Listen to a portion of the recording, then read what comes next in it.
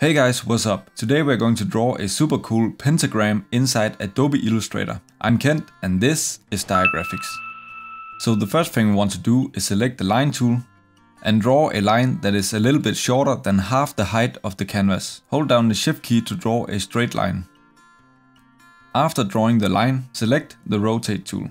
Then hold down the alt key and click at the anchor point at the bottom of the line and we want to create a circle with 5 of these lines. So because a circle is 360 degrees, we type in 360 degrees and because we want to divide the circle by 5, type in divide by 5, then click copy.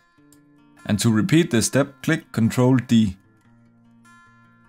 This will be the template that we are going to use when we are drawing the star. So lock the layer and create a new layer. Now these lines works as guidelines. So now select the pen tool and select a wider stroke. You can always change this later. Now start drawing from anchor point to anchor point.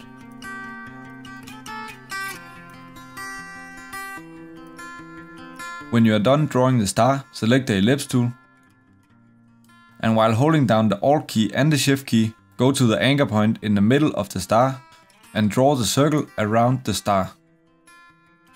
Then simply disable the layer with the guidelines, select the entire artwork, select the stroke, and give your artwork a color.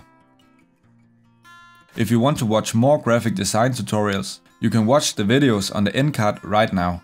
Thank you for watching.